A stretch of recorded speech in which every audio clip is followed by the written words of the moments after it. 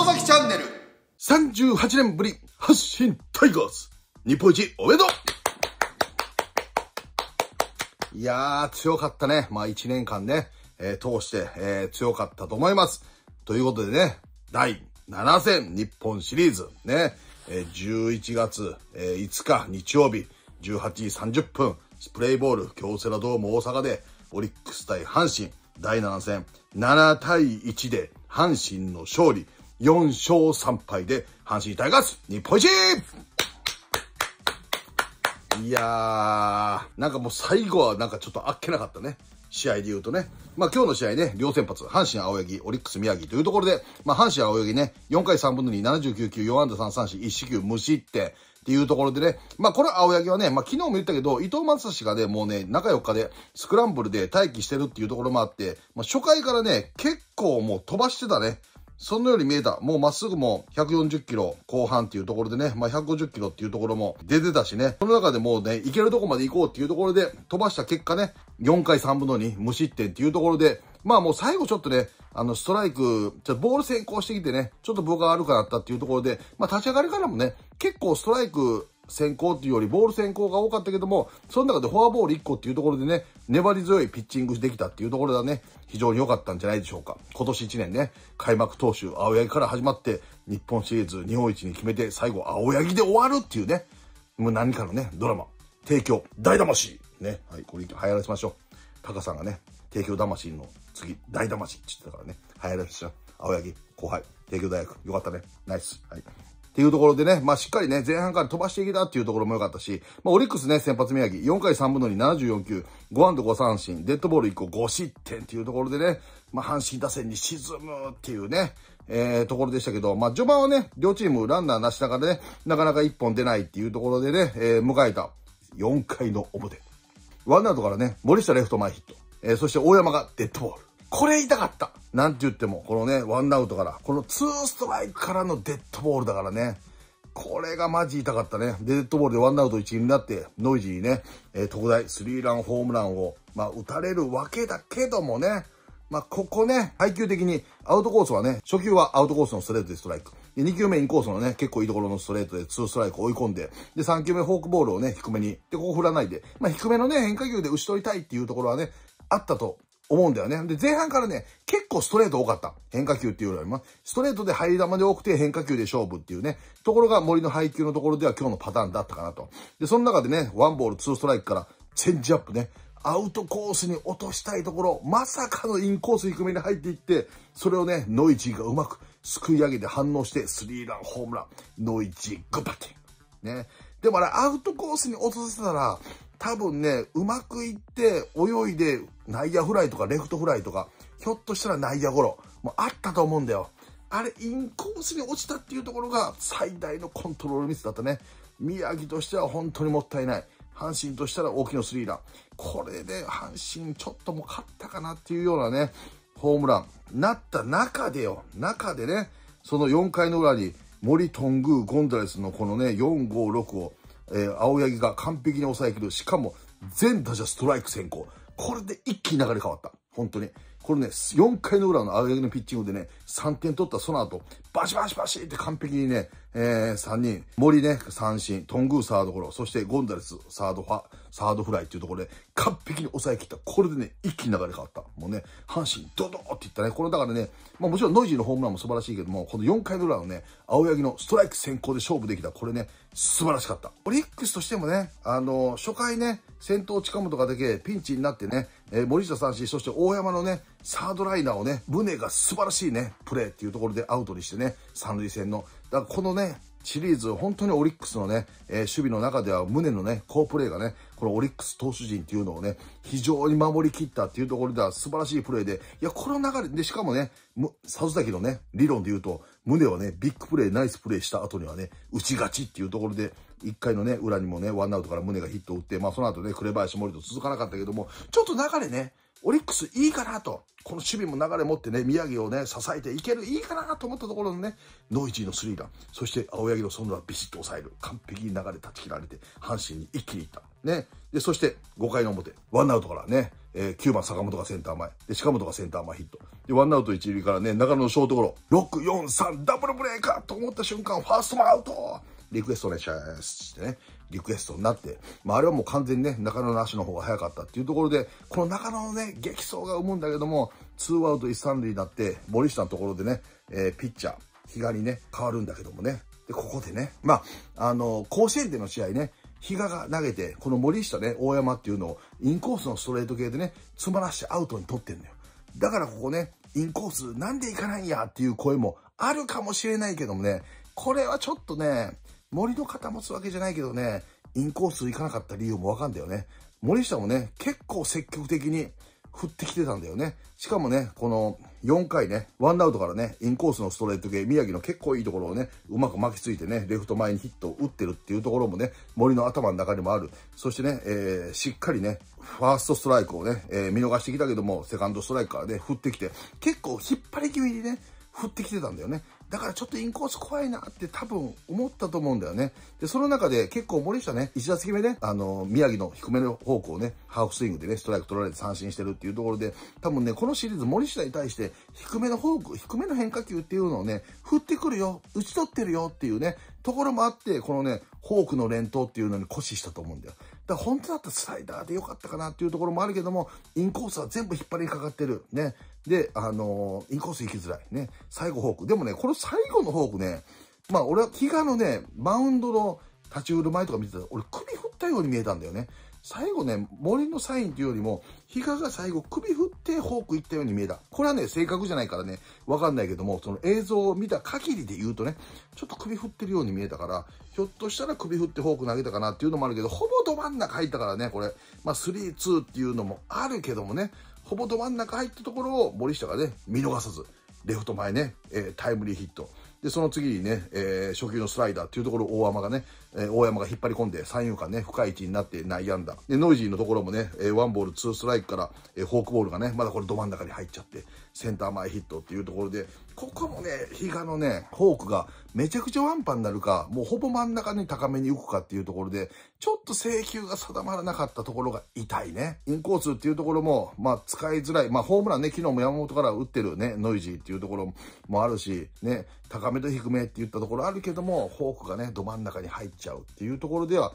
まあ痛くね、まあこの森下、大山、ノイジーの3者連続タイムリー、6対0、これでほぼゲームセットっていうね、感じだった。でも、皆さん、阪神ファンの皆さん、昨日の里崎の動画見ましたか？終わりの方で言ってましたよ。阪神が優勝するならば、ね、1、2番は黙ってても出るでしょう。下位からのチャンスっていうのは黙っててもあるでしょう。3番森下、4番大山、これが打てばキーマン。もうこの2人が打てば勝つ。阪神が31年ぶりに日本一になるためには、この2人の1本が出るかどうかだけ。まあ、1、2番がね、そもそも打たないと負けちゃうけど、でも絶対打つでしょうと。森下、大山がキーポイントプレイヤーになるどうですか、皆さん。そのね、キーマンになりましたよ。一番大事なところで森下と大山がね、大活躍。4回もね、ワンアウトから森下がレフト前ヒットを打って、大山がデッドボール、チャンスメイクしたところをノイジーのホームランね。この、えー、5回もね、9番坂本から近本とチャンスメイクしてきて、ね、森下がタイムリー、大山がタイムリー、ノイジータイムリーっていうところでね、この両脇は打ってた。この真ん中の森下大山が打つかどうかっていうところを、今日ものの見事にね、甘いところに入った球をね、見逃さず仕留めてね、まあ昨日の悔しさもあっただろうと。ね、しかもそれで森下はね、日本シリーズ新記録の新人打点7だったかな？記録も作ってね、えー、非常に、えー、素晴らしいバッティング、しかもキーマンになったっていうね。で、逆にオリックスはね、キーマン、ね、森とトングって言ってたけども、この2人がね、えー、森は4打数0安打。で、トングーね、最後、岩崎からホームラン1本打つけども、なかなかね、機能しなかったっていうところではね、なかなか、えー、厳しい戦いになったかなと。でも唯一の最後、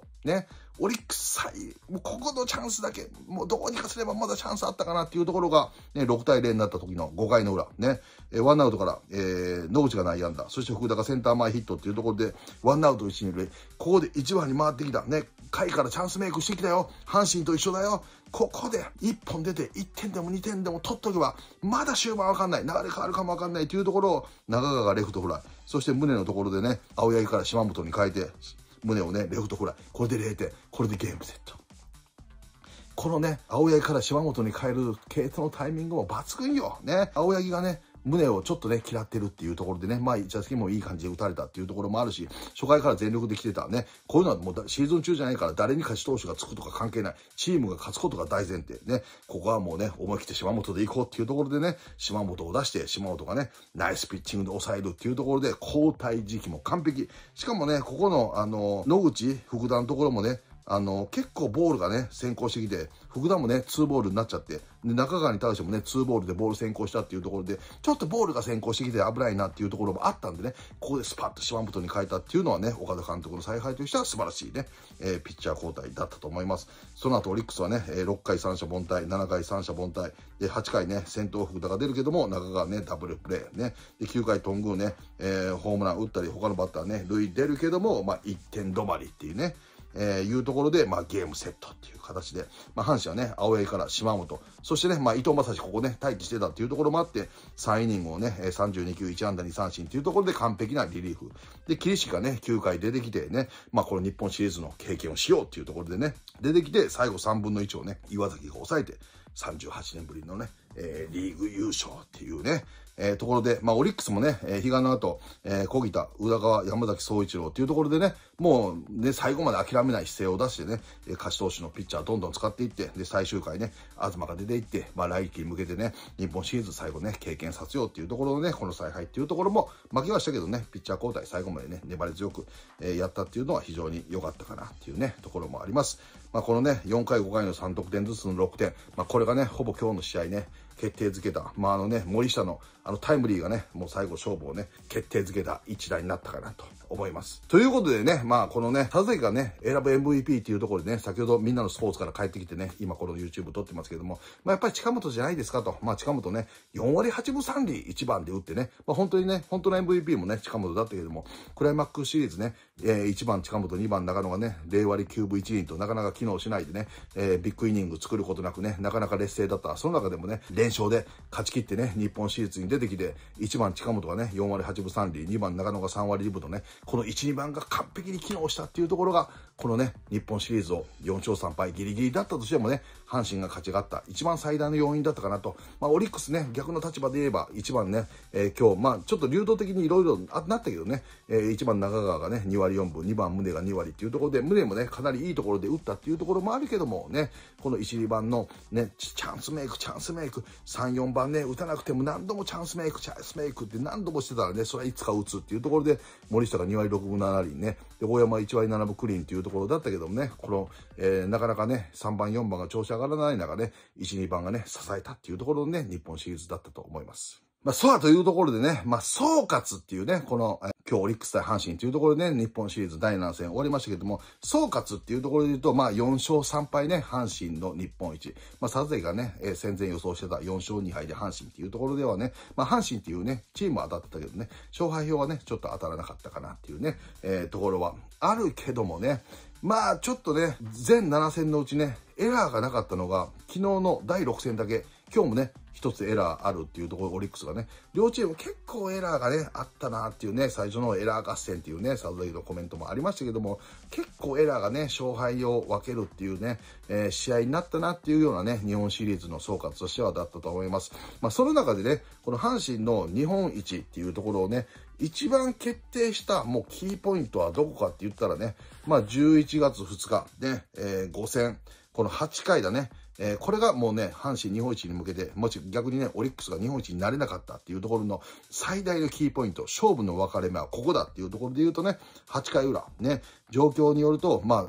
あ、オリックスね、田島。で、えー、阪神大竹っていうところが先発が素晴らしいピッチング。で、2対0で迎えたね、8回裏。で、高等田島をね、ピッチャー交代。リリーフした山崎総一郎がね、先頭木浪がね、えー、記録上はセカンド内野安打からの足立の悪送球ってなったけども、タイミング的には完全にアウト。あれを足立がね、ランニングスロー、ファーストにしっかり投げとけばアウトだったわけ。これがアウトだったら、これがエラーがなかったら、ね、これね、あのー、まあ、終わってからね、なんか傷口に塩を塗り込むみたいでね、まあ申し訳ないけども、これは安達はね、これを糧にね、また来年以降も踏ん張ってね、さらに上に行けるようにね、まあ頑張ってもらいたいっていうところもあるしね、ここで終わらないでね。まあでも解説者としてはね、こういったところもちゃんと言わなきゃいけないっていうところも仕事だからね、あえて言わせてもらいますけども、まあこのエラーがなければ、オリックスがね、日本一になってたかもしれない。かなりの確率でね。まあ、これがミスが起きて、ノーアウト2塁。ここで代打糸原。第糸原はね、レフトへもヒットで、つないでノーアウト一三で。ね。で、そこから近本がね、タイムリー。中野送りバントを決めて、森下タイムリー。そして大山タイムリーっていうところで、で、最後ね、坂本がタイムリー打って、一挙6点。この8回裏がキーポイント。これでね、阪神がリーチをかけたことによって日本一38年ぶりに。逆にこれ、足立のミスがなくて、もしくはその後ね、連打が続かないで、山崎総一郎がしっかり抑えてて、ね、この回0点だった場合は、オリックスがね、日本一になってたと思う。だからこの日本シリーズの一番のキーポイントは、第5戦、11月2日、8回裏のこの攻防です。その中でも、このね、代打糸原、このヒット、これがね、この日本シリーズのね、日本一に向けて全ての分岐点だ。ね。まあもちろんね、この足立のエラーっていうところが一番初めにね、来てるけどもね、これがなかったらっていうところもあるし、ね、その後糸原がね、繋がなかったらっていうところもあるから、この二つ、だからポジティブな目線でいたら、糸原のつなぎ、これがね、ポジティブ日本一。ネガティブな目線で言ったら、足立のエラー。これで阪神日本一っていうね、ところの、分岐点、だったと思います。っていうね。まあ今年1年間ね、阪神タイガース、本当にね、大型連勝もあったし、セリーグもね、圧倒的、えー、力でね、ねじ伏せてリーグ優勝して、で、クライマックスシリーズもね、完璧に勝ち上がって、日本シリーズ4勝3敗っていうところでは、1年間ね、本当阪神タイガースの強さがね、えー、目立った強さを感じたシーズンだったと思いますし、38年ぶりっていうところでね、かなりの歴史をね、えー、築いてきた中、岡田さんがね、選手27歳だったって言ってたんでね、ファンの皆さんもね、この38年ぶりのね、日本一の歓喜っていうところをね、ぜひ味わってもらいたいと思いますし、オリックスもね、本当にあのリーグをね、えー、3連覇っていうところは本当に素晴らしいと思うし、こんななかなかない中でね、クライマックスシリーズ勝ち上がって、ね、日本シリーズ、まあ2連覇まではいかなかったけども、この4勝3敗というギリギリの中ね、本当に素晴らしい戦いを見せたっていうところは、パリーグの代表として素晴らしかったと思います。ということで、1年間のね、えー、プロ野球、これにて終わりというところで、まあ、あの、佐々木週刊ベースボールの、あの、この日本シリーズ全試合の評論っていうのをね、あの、書かせてもらってますから、ぜひね、その週刊ベースボールでもそちら辺のね、えー、阪神優勝特集号みたいになるかもわかんないんで、ね、えー、それぜひね、えー、読んでみてください。そしてまたね、アンダー24のアジアチャンピオンシップね、ありますけども、佐々木そこでもね、えー、解説したりすると思いますからね、ぜひ皆さんね、そちらも楽しんでください。ということで、38年ぶり、阪神タイガース日本一、おめでとうそして、残念ながらね、日本シリーズは負けましたけど、オリックス・バファローズ、パ・リーグ3連覇、本当に素晴らしい !1 年間、プロ野球ファンの皆さん、そしてお疲れ様でしたそれでは。